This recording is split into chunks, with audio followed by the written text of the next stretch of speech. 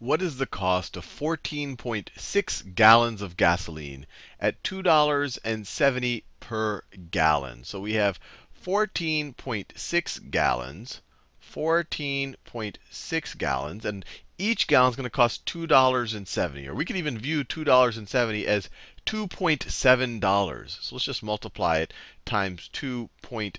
It makes things a little bit simpler. And I think you'll appreciate 270 is the same thing as $2.7 per gallon. So let's multiply this out.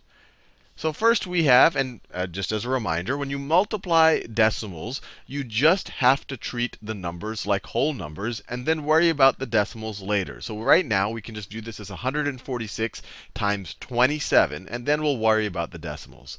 So first we have a 7 times a 6. So we have 7 times 6 is 42. Regroup the 4. 7 times 4 is 28, plus 4 is 32 regroup the 3. 7 times 1 is 7, plus 3 is 10. So we get 7 times 146 is 1022. Now we're going to deal with this 2. But this 2, at least before we consider the decimal, is really a 20. So we're going to put a 0 here.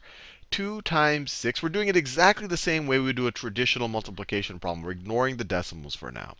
2 times 6 is 12 carry the 1 or regroup the 1, we can ignore these guys right now. 2 times 4 is 8, plus 1 is 9. 2 times 1 is 2. And now we can add. And now we can add. And we get 2 plus 0 is 2.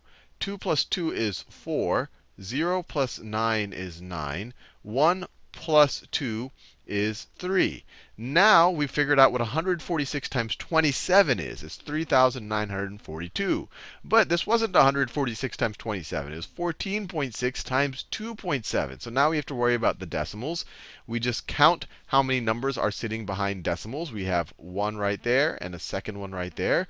So our product has to have two numbers to the right of the decimal. So 1, 2, stick it right over there.